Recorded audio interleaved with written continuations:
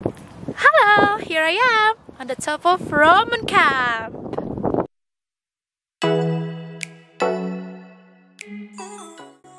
Bangor is the oldest city in Wales with over 16,000 of population.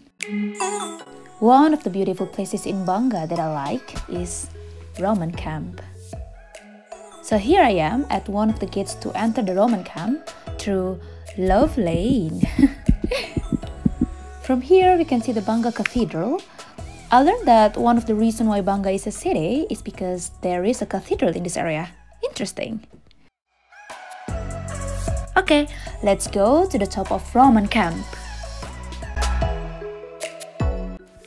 In Roman camp, you will see many different species of plants, birds, and animals. It is a very special woodland. Here we are on the top of Roman camp. From this point, you will see the Menai Strait, which separates the island of Anglesey from Gwynedd. From here, we can also see Menai Bridge and Beaumaris, which are located on Anglesey. From Roman Camp, you will see those two bridges connecting Anglesey and the mainland of Wales. The front bridge is actually Menai Bridge, and the other one is Britannia Bridge.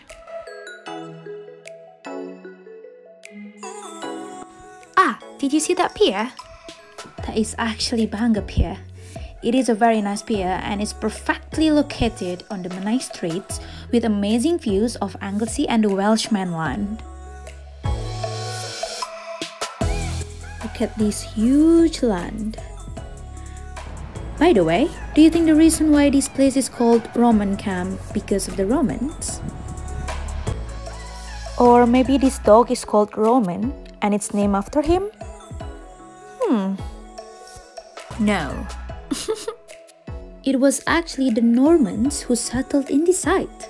The old fort was built here so that they could see the threats of the enemies from miles away.